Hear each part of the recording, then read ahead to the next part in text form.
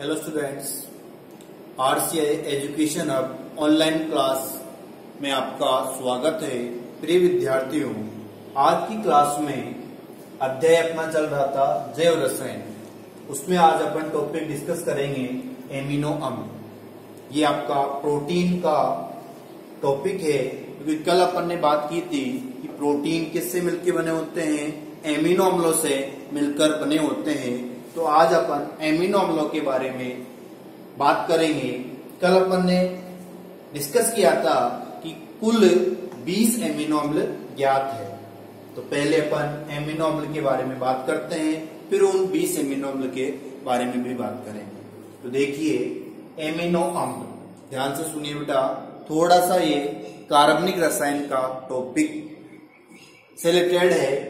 तो यहाँ पर आपको समझना होगा कि वे कार्बनिक यौगिक जो अपने शुरू में कहा था कि आपके जितने भी जैविक अणु है, वो सारे क्या कार्बनिक यौगिक या कार्बनिक यौगिकों से मिलकर बने होते हैं। तो एमिनो अम्ल भी एक प्रकार का क्या है? कार्बनिक यौगिक है। परिभाषा अपन कहें, वे यौगिक जिनमें एमिनो समूह, क्रियात्मक समूह होता है जैसे एमिनो समूह होता है आपका कौन सा? NH2 कौन सा होता है?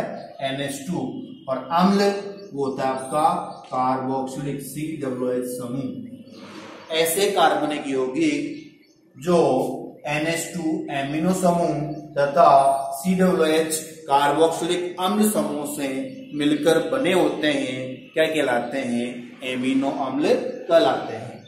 दोबारा रिपीट कर रहा हूँ मैं. वे कार्बनिक यौगिक जो NH2 एमिनो समूह तथा COOH कार्बोक्सिलिक अम्ल समूह से मिलकर बने होते हैं, क्या कहलाएँगे? एमिनो अम्ल कहलाते हैं। जैसे अगर आप इसको लिखना चाहें तो अपने पास में जैसे सी एस टू है, एक तरफ़ मैंने क्या लगा दिया? सी डब्ल्यू एच एक तरफ़ क्या लगा दिया? एन एच टू ये एक प्रकार का क्या हो गया? एमिनो अम्ल। जो इसमें देखो, कौन सा समूह लगा हुआ है?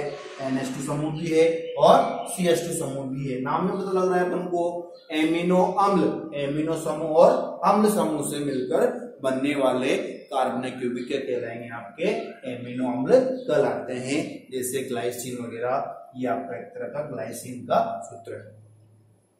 सूत्र से आपको कोई लेना देना नहीं है, थोड़े से नाम आपको ध्यान रखने हैं। उसकी भी आपके पास में शॉर्ट ट्रिक बता देंगे, जिससे आपको थोड़ी सहायता मिल जाएगी। परिभाषा आपकी क्लियर हो चुकी है। एमिनो और कार्बोक्लिक अम्ल समूह से मिलकर बनने वाले यौगिक क्या कहलाएँगे आपके? एमिनो अम्ल कहलाते हैं। क्लियर अब आप बात आती है इनके नामकरण इसके बाद आती है बेटा, नामकरण। देखिए, जो इनका नामकरण, जैसे अपन आयुपीएससी पढ़ाया आपने ग्यारहवीं क्लास में आयुपीएससी नामकरण या साधारण नामकरण या रूप पद्धति से नामकरण करते हैं, वैसे ही एमिनो अम्लों का भी नामकरण होता है। तो अपन बात करेंगे यहाँ पर नामकरण की। इसकी बात करेंगे नामकरण की। नामकरण के लिए अपन यहाँ पर क्या काम लेते हैं? रूढ़ पद्धति काम लेते हैं। या कहेंगे रूढ़ नाम काम लेते हैं, जिनको अपन किससे गुणों के आधार पर इसके आधार पर गुणों के आधार पर या प्राप्ति स्रोत के आधार पर। इसके आधार पर प्राप्ति स्रोत के आधार पर इनका अपन क्या करते हैं? नामकरण करते हैं। क्लियर या तो रूट नाम का मतलब हो गया जो नाम दे दिया। उसको बोलते हैं रूट नाम। या गुणों के आधार पर या प्राप्ति स्रोत मतलब किस से अपन को प्राप्त हुए हैं, उसके आधार पर एमिनो अम्लों का क्या किया जाता है, नामकरण किया जाता है। बात क्लियर है? तो यहाँ पर नामकरण में क्या है? जो भी नाम है, उस नाम के अंग्रेज़ी वर्णमाला के प्रथम तीन अक्षर। नामकरण करते हैं। उस नाम का जो अंग्रेज़ी नाम है, उसके प्रथम तीन अक्षर। इसकी बात करेंगे अपन। जो नाम आपके पास में आया है, इसके आधार पर उस नाम का जो अंग्रेज़ी नाम होगा, उसके प्रथम तीन अक्षर या प्रथम अक्षर। या प्रथम अक्षर इसमें अंग्रेज़ी में इनका नामकरण किया जाता है। जैसे बात करूँ मैं उदाहरण के तौर पर, जैसे अपन ले लिया ग्लाइसिन। क्या ले लिया? ग्लाइसिन। अब इसका अंग्रेज़ी नाम देखो बेटा। G L Y C I N E E glycine. ये पूरा नाम है, इसको अपन शॉर्ट में कैसे लिखेंगे? जी एल वाई आगे प्रथम तीन अक्षर, या फिर इसको अपन किससे व्यक्त करेंगे? जी से व्यक्त करेंगे। किससे जी? किससे व्यक्त करेंगे अपन? जी से व्यक्त करेंगे। बात समझ में आ रही होगी। दूसरा उदाहरण ले, ले सकते हैं अपन यहाँ पर। देखिए दूसरा ले लिया अपन ने यहाँ पर। लाइसिन। कौन सा ले लिया अपन ने? Lysine. L Y C E N E. L Y C E N E. हो गया। इसका नामकरण क्या जाएगा? एल वाई सी और आप अपने पास में क्या रख लेंगे? क्लियर तो यहाँ पर देखिए बेटा, इस तरीके से अपन ने क्या किया? प्रथम तीन अक्षर और प्रथम अक्षर। तो ग्लाइसिन का पूरा नाम अंग्रेज़ी में G L Y C I N E और यहाँ पर जी एल वाई और जी राइट जैसे अपन ले लिया यहाँ पर वेलिन। कौन सा ले लिया अपन ने? वेलिन। राइट वेलिन में क्या होगा? वी ए एल क्या होगा? वी ए एल और क्या जाएगा अपने पास में? वी क्या जाएगा अपने पास में? वी तो प्रथम तीन अक्षर और अपने पास में उसका प्रथम अक्षर। तो उससे अपन इसको व्यक्त करते हैं। इस तरीके से एमिनो अम्लों का नामकरण किया जाता है। क्लियर ये पूरा नाम हो गया। इसको व्यक्त करने के लिए प्रथम तीन अक्षर और उसका प्रथम अक्षर। से इसको व्यक्त किया जाता है। ये हो गया आपका एमिनो अम्लों का नामकरण। क्लियर अब यहाँ पर जो आपको याद रखने की चीज़ें हैं, जहाँ से आपका क्वेश्चन आता है। एक तो क्वेश्चन हो गया कि एमिनो अम्लों को परिभाषित कीजिए, वो परिभाषा आपको क्लियरली समझ में आ चुकी है। अब नामकरण हो गया। उसके बाद जो इंपोर्टेंट चीज़ आती है, वो आती है आपकी आवश्यक एवं अनावश्यक एमिनो अम्ल जहाँ से आपका क्वेश्चन बनता है। इसका टॉपिक होगा एमिनो अम्लों का नेक्स्ट आपका आवश्यक एवं अनावश्यक एमिनो अम्ल। इसकी बात करेंगे अपन। आवश्यक एवं अनावश्यक एमिनो अम्ल। देखिए ध्यान से सुनिए बेटा, आवश्यक और अनावश्यक। थोड़ी सी डेफिनेशन आपको समझनी होगी। देखो एमिनो अम्ल मतलब क्या हुआ? प्रोटीन क्या मतलब हुआ? प्रोटीन राइट और प्रोटीन का संश्लेषण कहाँ होता है आपका? कोशिका कहाँ पे होता है आपका? कोशिका क्लियर इसका मतलब अपने शरीर में। चाहे वो जंतु कोशिका हो, चाहे वो पादप कोशिका हो।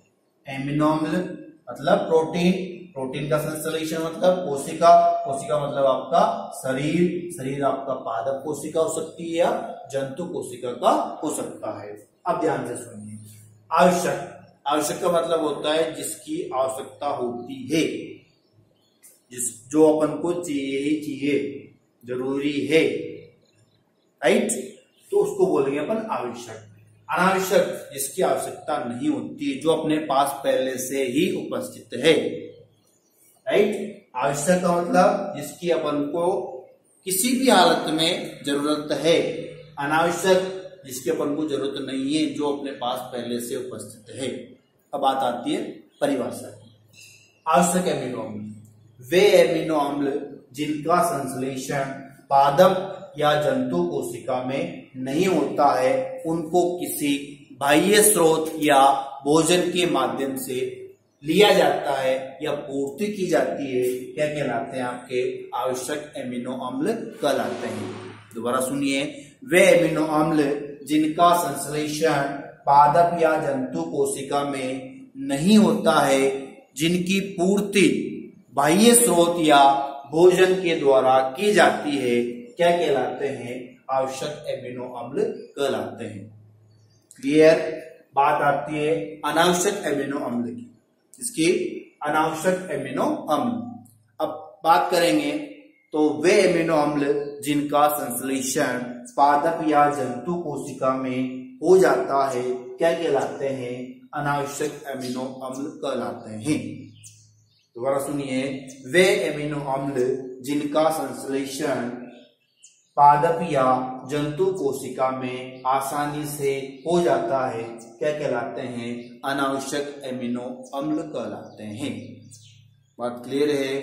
अब अपन, आपको सबको पता है, कुल एमिनो अम्ल कितने यहाँ पे ज्ञात है? बीस एमिनो अम्ल। कितने ज्ञात है आपके?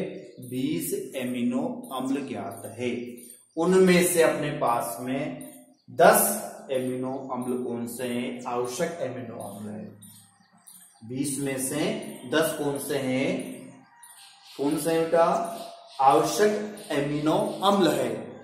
अब उनको, अपन को याद करना है, क्योंकि यहाँ से आपका क्वेश्चन आ जाता है कि निम्न में से कौन से आवश्यक है या कौन से अनावश्यक है। तो अगर एक चीज़ याद रह जाएगी तो दूसरी चीज़ अपने आप याद रह जाएगी। देखो अभी मैंने सूत्र बताया था आपको जैसे ग्लाइसिन के लिए अपन ने क्या लिखा था? जी एल वाई जी तो उसी आधार पर इसको अपन को याद रखना है। ये दस नाम याद नहीं रखने, इनके आपको शुरुआत का अंग्रेज़ी अक्षर याद रखना है आपको।